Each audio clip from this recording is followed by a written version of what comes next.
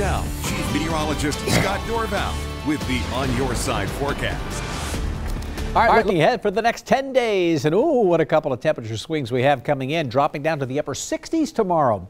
A cooler, refreshing day, and if you like the cooler weather, try to enjoy tomorrow because after that it changes. Although uh, Friday looks really nice in the 70s, and then temperature starts to soar Saturday afternoon, and then Sunday just downright hot, 86 to upper 80s to near 90 in some locations, and then the temperature just starts to drop on off. We'll likely see an increase in some showers and thunderstorms even as we get towards Monday in the mountains. Uh, even Sunday afternoon in some mountain communities we'll see that. So we'll start to increase the moisture here and then temperatures dropping down to near 70 as we get towards uh, the following weekend. So this weekend mid 80s to upper 80s and then after that down to near 70. All right, my recreation forecast for this weekend all green lights everywhere for golfing, fishing, camping, hiking, mountain biking looks great. And this is why I've taken the swimming thing off. Roaring Springs announced that they're opening this weekend from 11 a.m. to 7 p.m.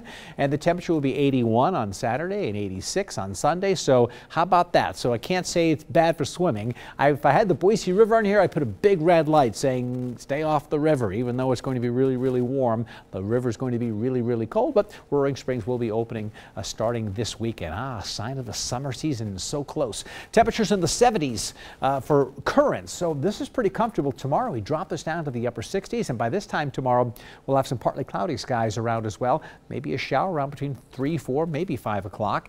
Uh, wind gusts, in the, the maximum wind gust we had is about 35 miles per hour, 30 in Mountain Home. So not as windy as yesterday, but still a good breeze this afternoon. Forecast for tomorrow.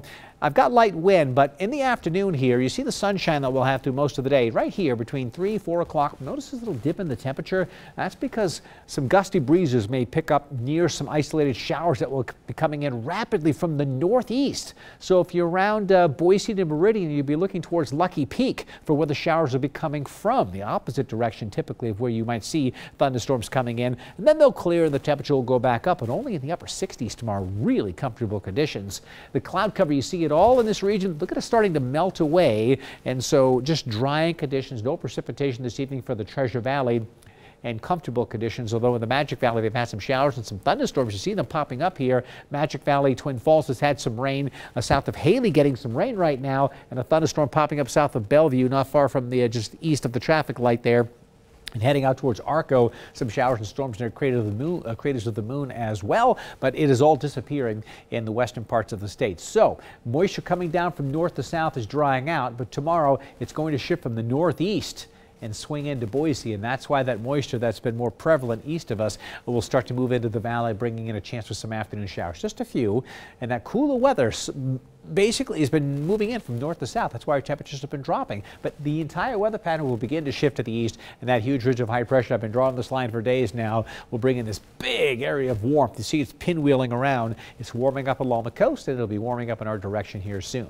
So the showers disappearing tonight, tomorrow morning into midday. Looks really nice. Could be a couple of clouds around, partly cloudy through the day. Here's the afternoon, the chance for those few showers tracking from east to west, uh, northeast to southeast, uh, southwest. But Look at Friday, just an amazing day with temperatures in the 70s. Winds should be on the light side. If you're headed to the mountains this weekend, let's take a look at that mountain forecast. Tomorrow, 60 up to 71 to 73 at 5,000 feet. That's the Long Valley forecast. Looks really, really nice. My exclusive true view of tomorrow's weather today.